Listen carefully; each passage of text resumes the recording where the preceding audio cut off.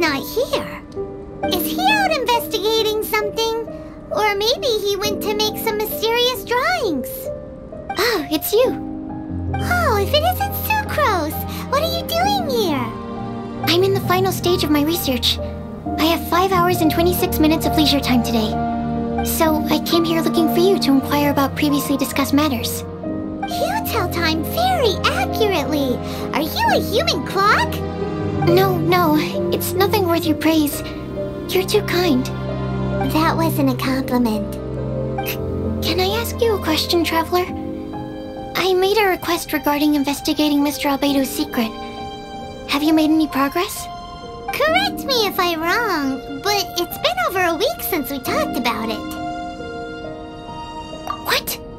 Uh, over a week? I clearly... I've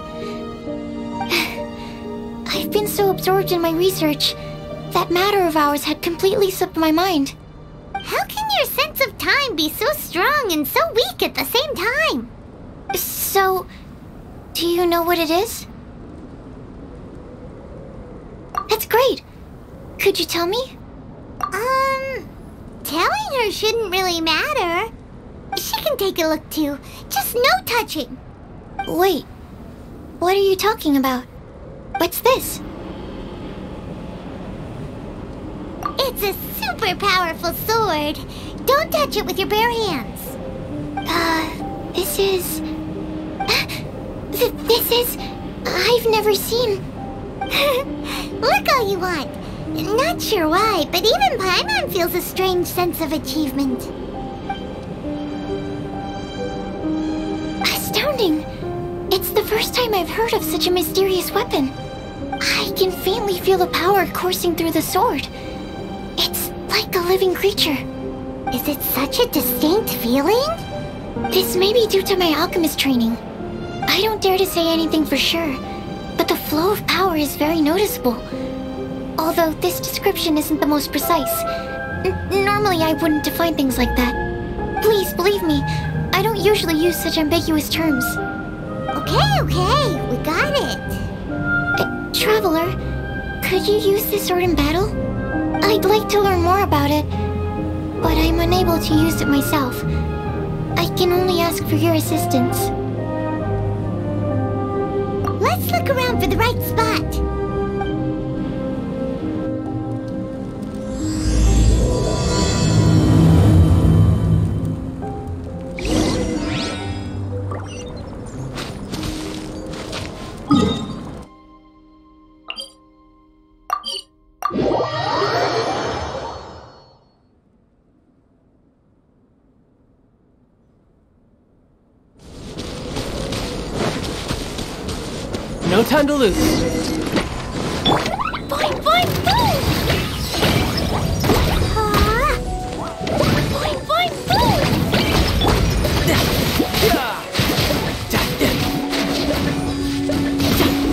Ah! Remarkable. This weapon is like no other. You're also extraordinary. No matter if it's your fighting stance or the momentum of your swing, it's perfect. This sword is special. I didn't want to go too deep into the research, and yet I couldn't take my eyes off of it. well, Paimon thinks that's one of your own special qualities, not the sword's. Clearly, this is a mysterious yet dangerous and enticing sword. Mr. Albedo must have great confidence in you to have entrusted you with such an important item. Well, you've earned his trust with your abilities. I agree with Paimon. However, the sword hadn't absorbed much energy before it was handed to you. Huh. How did Mr. Albedo recognize its uniqueness among a pile of other items in storage? A flash of brilliance often doesn't make sense. For example, Paimon's appetite for sticky honey roast. Ah, which reminds me, I didn't eat much today. I went looking for you right after completing my experiment. Then, on the way, I ran into an adventurer trapped in the snow. I spent quite some time saving him. Uh, uh, it- no, it's not like that. Don't be so shy. Just say what's on your mind. Uh, um, can help you out. Paimon's hungry. We should grab something to eat. I'm. I'm hungry. I could really go for a. Oh. Uh, I'm just a little embarrassed. Nothing to be ashamed of. Admitting that you're hungry makes the food taste better. Huh? Is that so? Of course! Let's get moving. There must be some food back at the camp. It'd be lovely to have some sticky honey roast to keep us warm in this icy weather.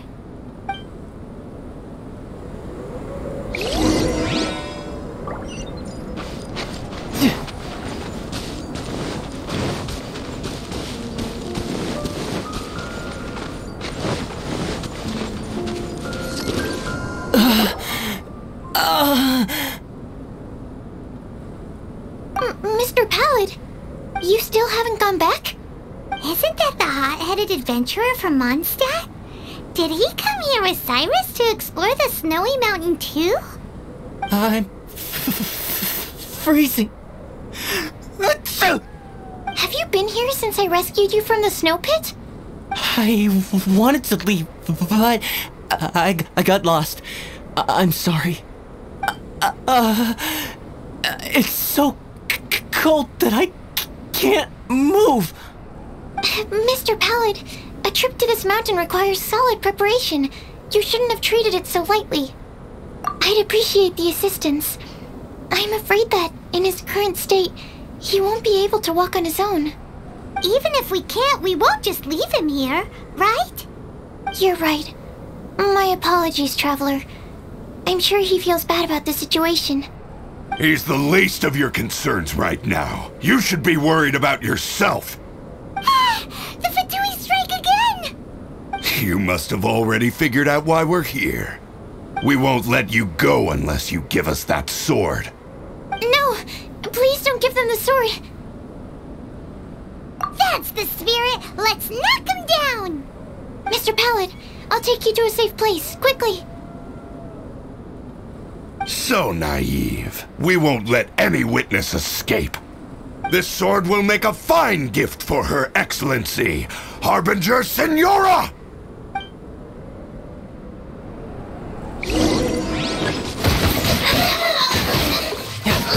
No time to lose.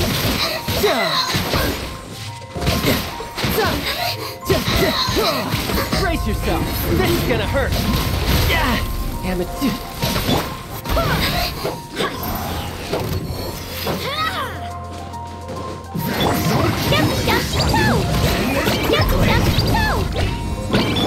Spirit Flame! Attack! Force my blade! Not Breaking a sweat! I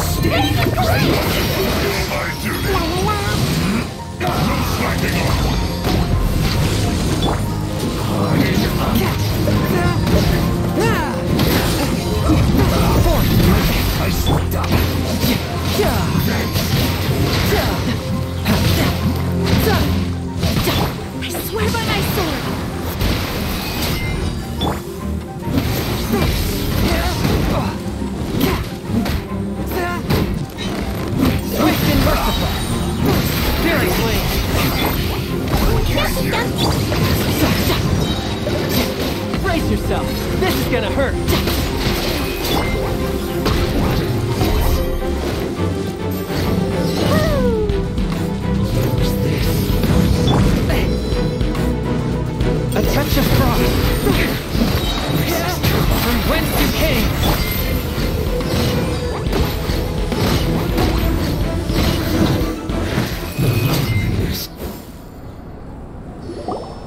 I heard the ruckus and came over to check.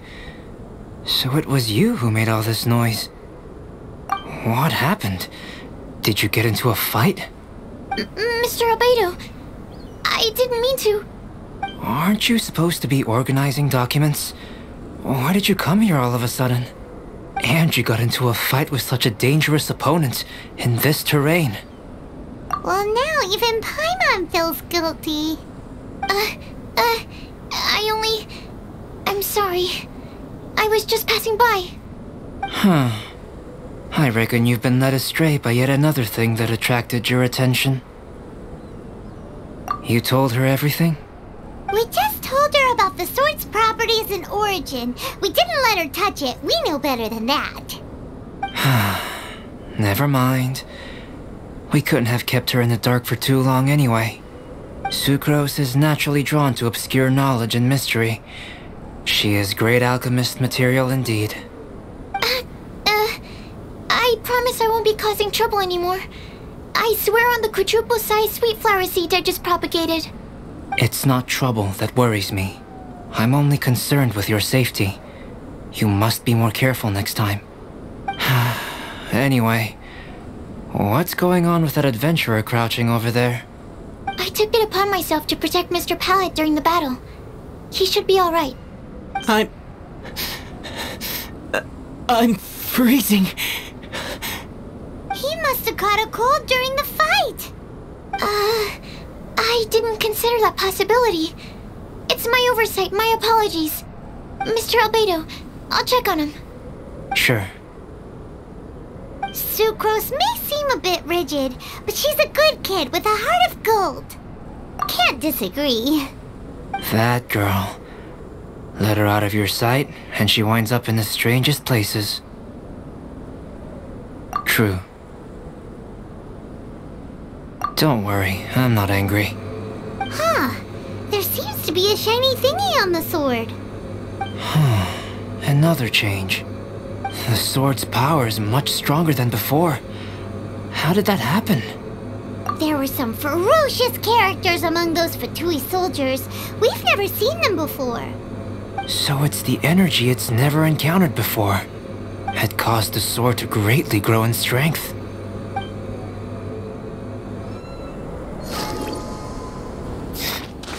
So. so cold. Hold on just a little longer. Uh, fire? Warmth! Wait! Watch out!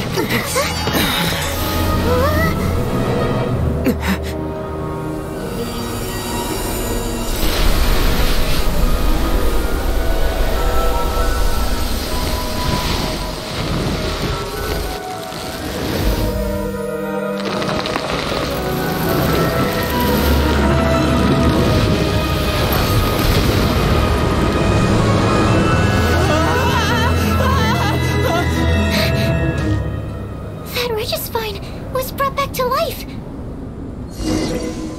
Ah! Wh- What is it? Into position! Prepare for battle!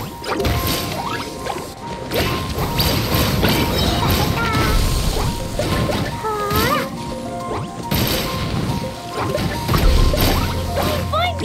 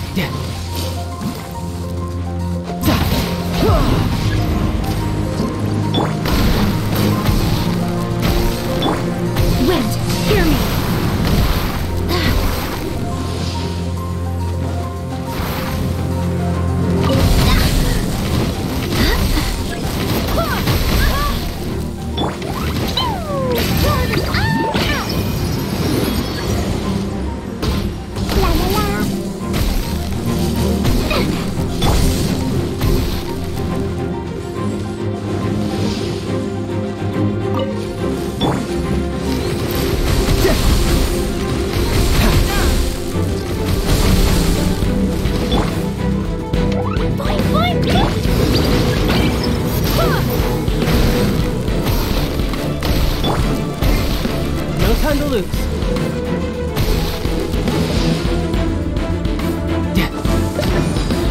No time to lose.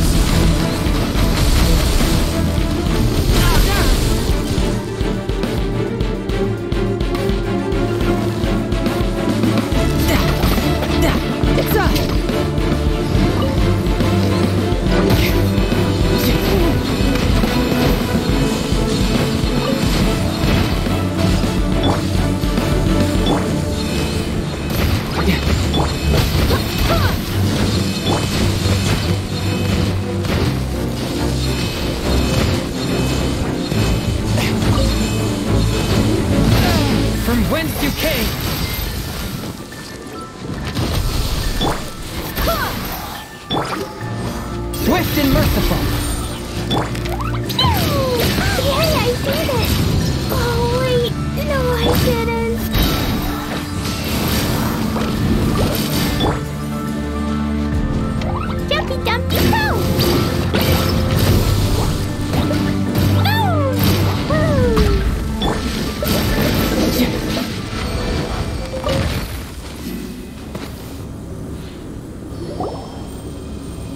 The dragon's power.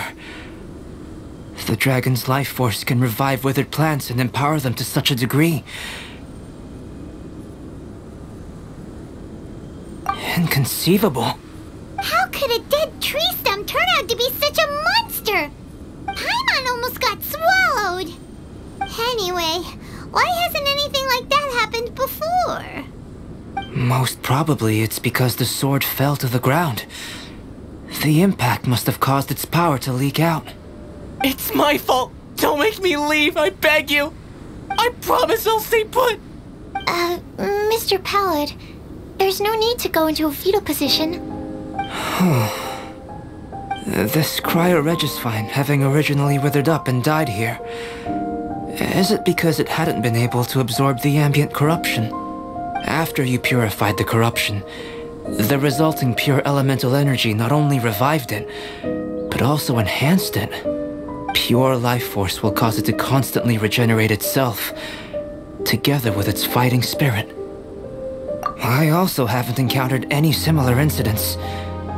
Yet, I must admit that a phenomenon of this rarity, although unexpected, is a valuable discovery. Sucrose? Keep an eye on that adventurer. Take him back to the camp. Yes, sir.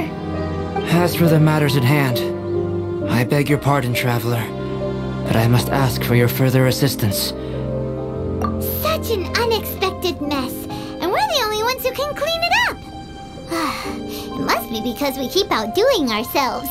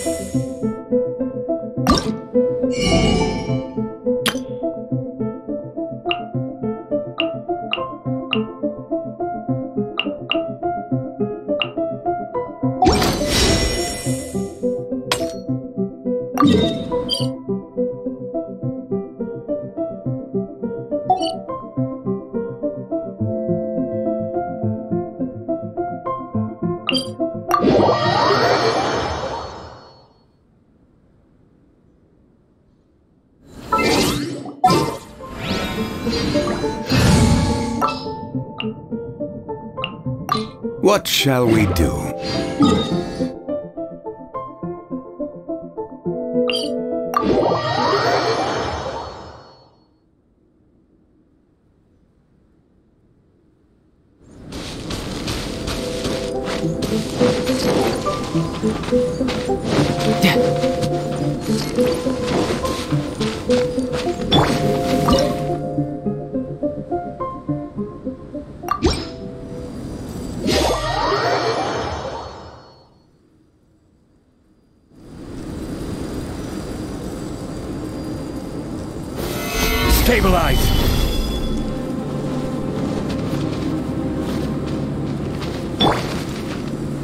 爸爸